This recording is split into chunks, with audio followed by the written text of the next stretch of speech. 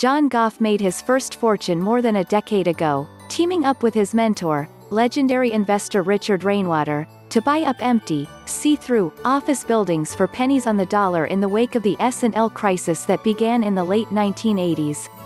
They went on to sell Crescent Real Estate for $6.5 billion at the 2007 peak and then scooped it up again a few years later at a discount amid the wreckage of the financial crisis.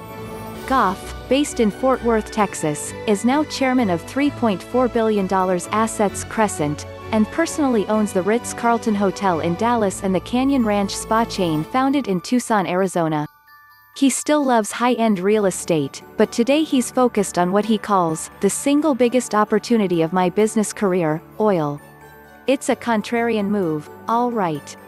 Watch the financial headlines and you'd think the end of oil was nigh.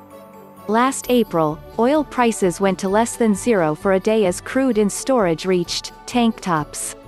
America's frackers have mothballed 60% of their drilling rigs in the past 18 months, while more than 100,000 have lost their jobs amid the bankruptcies of 46 producing companies, including the one-time shale champion of them all, Oklahoma City-based Chesapeake Energy.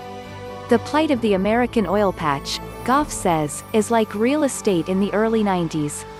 They had overbuilt, doubled the office space and were woefully overleveraged.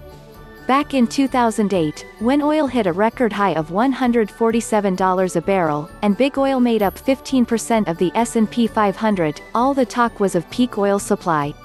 Today oil trades at $53 and makes up just 2% of the index, and market watchers are pushing the idea that we've already passed peak oil demand. Goff, 65, laughs at such forecasts. Before the world does not need any more oil, we will suffer a shortage, he predicts. The world may be burning nearly 10% less oil than the pre-pandemic 101 million barrels per day, but, he says, don't mistake COVID-related weakness for a secular shift.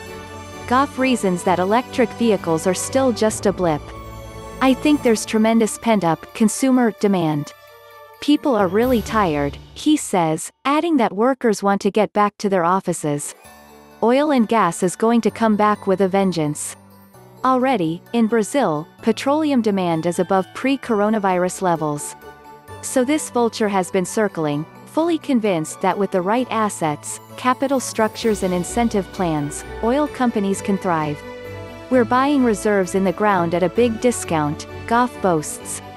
His primary platform is publicly traded Contango Oil and Gas, of which he owns 24%. Goff oversees the holding company as chairman. Acolyte Wilkie Colyer Jr., 36, serves as CEO. In October 2019 they snapped up 160,000 acres of prime fracking land in Oklahoma and the Texas Panhandle for $23 million.